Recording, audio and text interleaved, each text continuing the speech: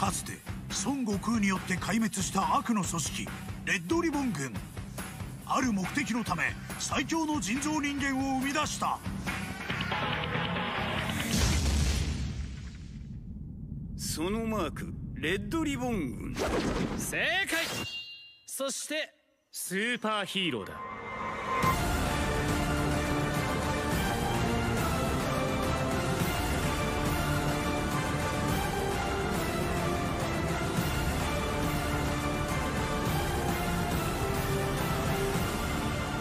今スーパーヒーローたちの世界をかけた戦いが始まる「